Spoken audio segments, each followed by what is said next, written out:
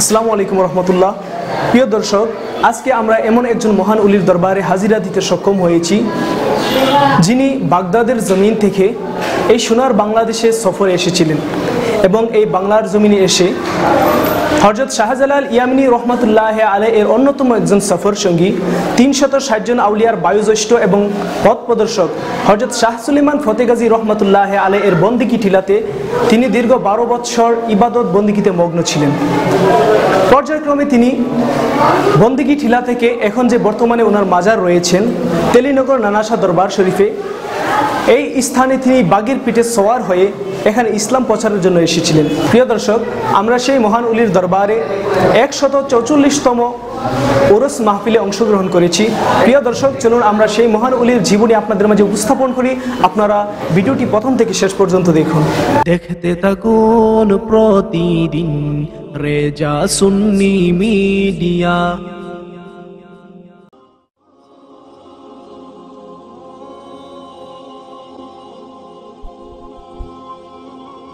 আল্লাহ পাক রবুল আলমিন রসুল্লাহ সাল্লাহ আলিহাসাল্লামের মাধ্যমে নবুয়াতের দরজা বন্ধ করে যুগ যুগ ধরে বিশ্বের বিভিন্ন স্থানে মহান উলিদেরকে পাঠিয়ে থাকেন ইসলামের খেদমত করার জন্য। আর মহান উলিগণ আল্লাহ পাকের নির্দেশে তাদের আপন আপন জন্মস্থান ত্যাগ করে বিভিন্ন স্থানে গিয়ে তারা ইসলাম প্রচার করেন। তেমনিভাবে হরজত নানাশা বুগদাদি রহমাতুল্লাহ আলাই তিনিও ইরাকের বাগদাদের জমিন থেকে এই বাংলার জমিনে এসেছিলেন ইসলামের খেদমত করার জন্যে। তিনি এই বাংলার জমিনে এসে হজরত শাহজালাল ইয়ামিনী রহমতুল্লাহ আলাই এর অন্যতম সফর সঙ্গী হজরত শাহ সুলেমান ফতেগাজী রহমতুল্লাহ আলাই তিনি যেই জায়গার মধ্যে একটানা চল্লিশ বৎসর ইবাদত বন্দিগিতে মগ্ন ছিলেন, ধ্যানে মগ্ন ছিলেন, ঠিক সেই জায়গার মধ্যে তিনিও বারো বৎসর একাধারে ইবাদত বন্দিগিতে মগ্ন ছিলেন। হজরত নানাশা বাগদাদি রহমতুল্লাহ আলাই তিনি দীর্ঘ বারো বৎসর ইবাদত বন্দিগি করার পরে তিনি এখান থেকে এজাজত নিয়ে চলে আসলেন ব্রাহ্মণবাড়িয়া, তেলিনগরে, যেখানে ওনার বর্তমানে মাজার শরীফ রয়েছেন। গণ জঙ্গলে আবদ্ধ ছিল এই জায়গাটি, আর এখানে এসেই নানা শাবাগদাদি রহমতুল্লাহ আলাই তিনি আস্তানা গাড়লেন।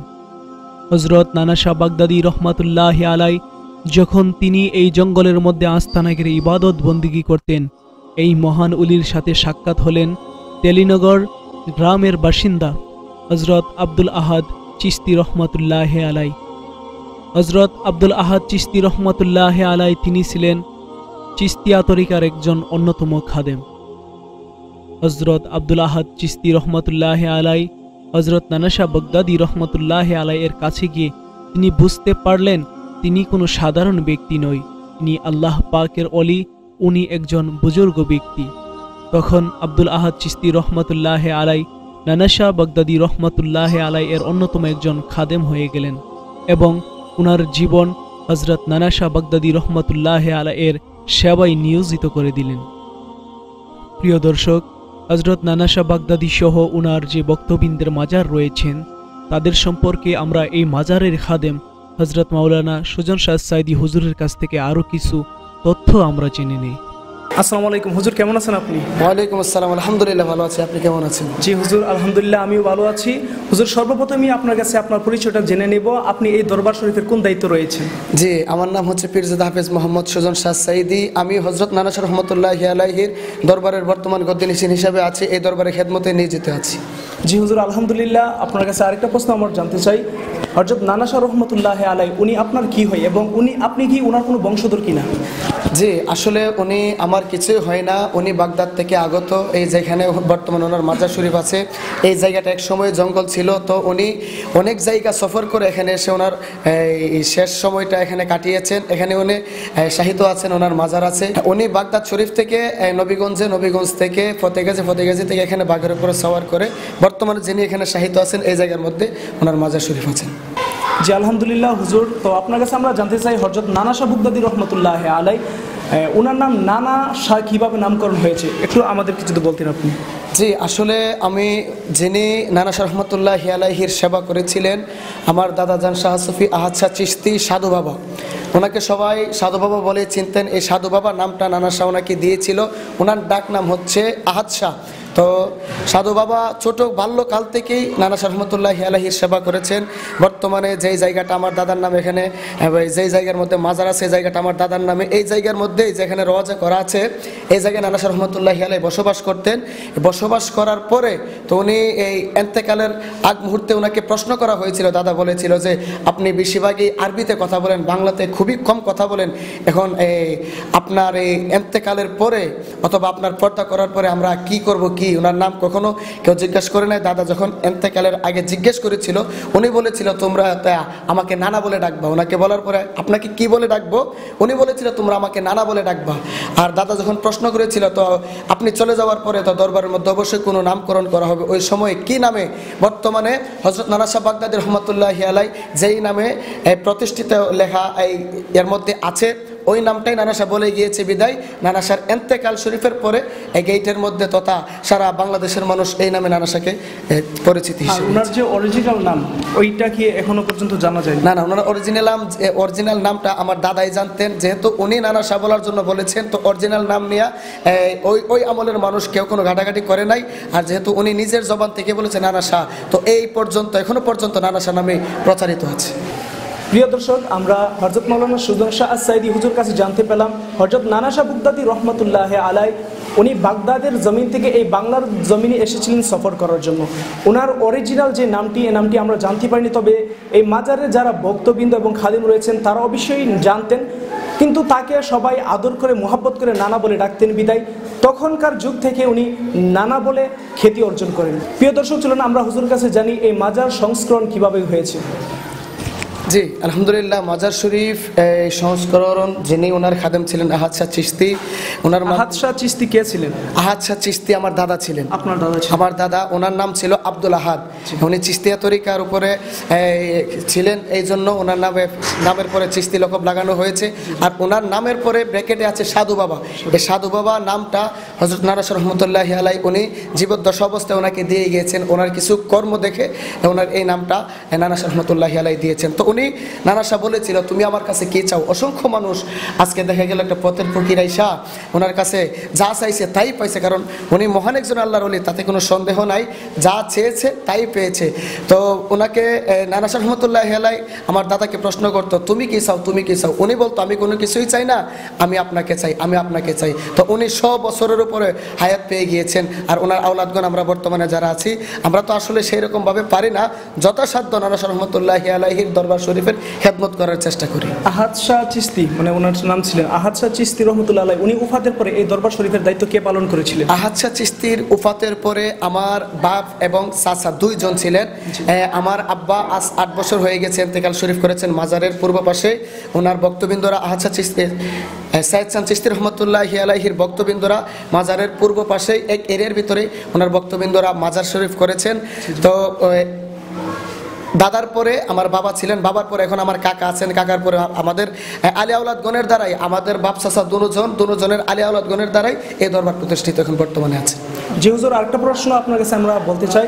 এটা হচ্ছে আমরা লোক মুখে শুনতে পেলাম যে হজরত নানা শাহ বাগদাদি রহমতুল্লাহ আলাই যখন শাহ সুলেমান ফতেগাজী রহমতুল্লাহ আলাই এর বন্দিকি টিলাতে ছিলেন ওইখানে বারো বৎসর ইবাদত বন্দিগি করার পরে যখন এখানে এসেছিলেন, তখন নাকি উনি বাঘের পিঠে সওয়ার হয়ে এসেছিলেন। কথাটা কতটুকু সত্য? জি, এটা হান্ড্রেড পার্সেন্ট সত্য। উনি ভাগের উপরে সোয়ার করে ফতেগাজ রহমতুল্লাহ আলাহির মাজার শরীফের পাশে যে বন্দিগি টিলা জুর গাছের নিচে, উনি বারো বছর ওই এক জায়গাতে ধ্যানমগ্ন ছিলেন। ওইখান থেকে দাদার জবান থেকে যেটা শোনা, হুকুম আসার পরে উনি বাঘের উপরে সওয়ার করে আমাদের যেখানে বর্তমানে মাজার শরীফ আছে, উনি এখানে এসেছেন। এখানে এসেই উনি সাহিত্য হয়েছেন। ফতেগাজি রহমতুল্লাহ আলাহি এই দরবারের বন্দিগি টিলায় আসার আগে উনি নবীগঞ্জে ছিলেন। নবীগঞ্জে দৈল ছাতুল নামক একটি গ্রাম আছে। ওই গ্রামের মধ্যে চব্বিশ বছর উনি ওই জায়গার মধ্যে বসবাস করেছিলেন। এর আগে কোথায় ছিলেন উনি, তারাও বলতে পারে না। তো আল্লাহর অলিগণ এক এক সময় এক একটা জায়গাতে তারা বিরাজমান। হজরত নানা শাহ বাগদাদি রহমতুল্লাহ আলাই এর কাছে বাংলাদেশের বিভিন্ন স্থান থেকে মানুষগণ এসে ইলমে তাসৌফের জ্ঞান অর্জন করতেন। এমনিভাবে হজরত আহাদ চান চিস্তি রহমতুল্লাহ আলাই, তিনিও নানা শাহ বাগদাদি রহমতুল্লাহ আলাই এর কাছে সর্বক্ষণ থেকে ওনার কাছ থেকে ইলমে তাসাউফের জ্ঞান অর্জন করেছেন বিদায়। তিনিও একজন বড় মাপের আল্লাহর ওলি হয়ে গিয়েছিলেন। চলুন সেই মহান ব্যক্তির মাজারটিও আমরা দেখে আসি।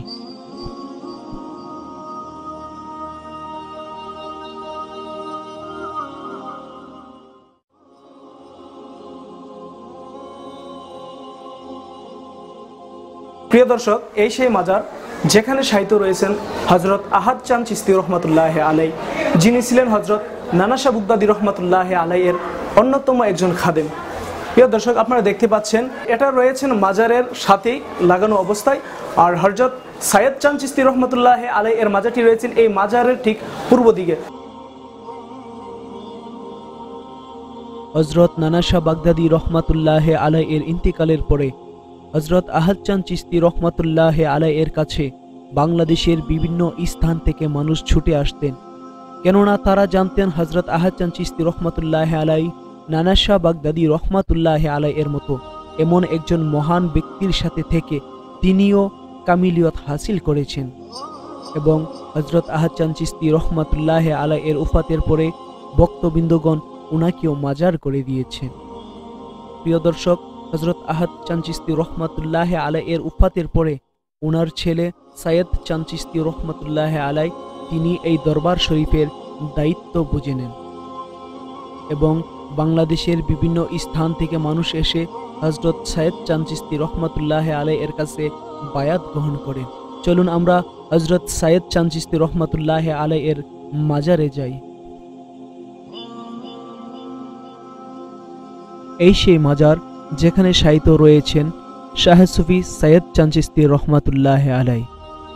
হজরত সৈয়দ চানচিস্তি রহমাতুল্লাহ আলাই এর উৎপাতের পরে বাংলাদেশের ওনার অনেক ভক্তবৃন্দ রয়েছিলেন যারা ওনাকে এখানে মাজার করে দিয়েছেন। এবং আমরা দেখতে পাচ্ছি মাজারের ভিতরে অনেকগুলো কাজ অবশিষ্ট রয়েছেন। প্রিয় দর্শক হজরত সাইয়দ চানচিস্তি রহমাতুল্লাহ আলাই তিনি দুনিয়া থেকে পর্দা করার আগে উনি যেই ঘরে তিনি ইবাদত বন্দিগি করতেন ওনার খানকাতে চলুন আমরা আপনাদেরকে নিয়ে যাই। এই সেই খানকা যেখানে হজরত সাইয়দ চানচিস্তি রহমতুল্লাহ আলাই দিনরাত এবাদত বন্দিগিতে মগ্ন থাকতেন এবং ওনার বক্তবিন্দুদেরকে এখানে বসে আল্লাহ এবং রাসূলের পথ চিনাতেন।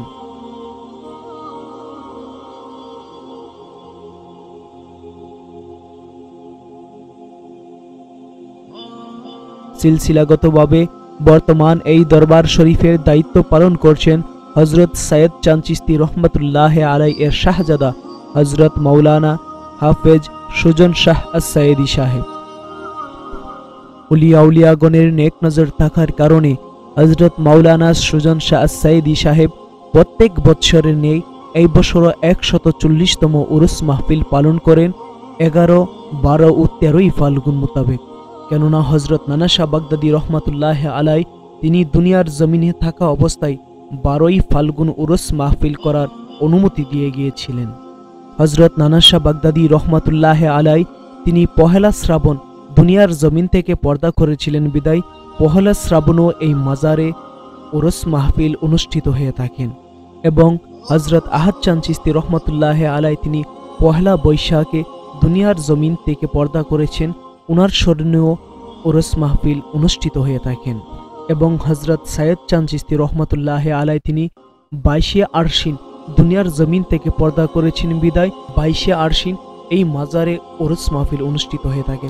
তবে হজরত নানাশা বগদাদি রহমাতুল্লাহ আলাই বারোই ফাল্গুন ওরস মাহফিল করার জন্য তিনি আদেশ দিয়ে যাওয়ার কারণে এগারো, বারো এবং তেরোই ফাল্গুনে হজরত মাওলানা সুজন শাহ সাইদি এখনও পর্যন্ত সেই উরস মাহফিল বিশাল আকৃতিতে করে থাকেন।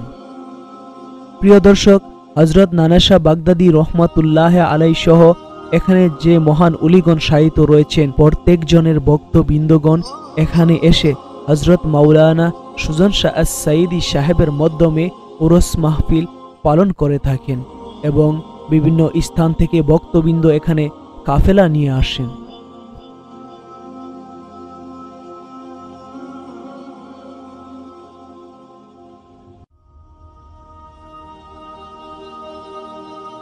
আপনারা এখন যে মসজিদটি দেখতে পাচ্ছেন, এই মসজিদটি মাজার কমিটির লোকেরা এই মাজারের উত্তর পাশে একটি জামে মসজিদ তৈরি করে রেখেছেন। আশেপাশের যে মুসল্লিয়ানি কেরাম রয়েছেন, তারা পাঞ্জেগানা নামাজ সহ জুমার নামাজ এখানে আদায় করেন এবং দূর দূরান্ত থেকে যে বক্ত মুরিদান আসে এখানে মাজার জিয়ারত করার জন্য, তারাও এই মসজিদে এসে নামাজ আদায় করেন।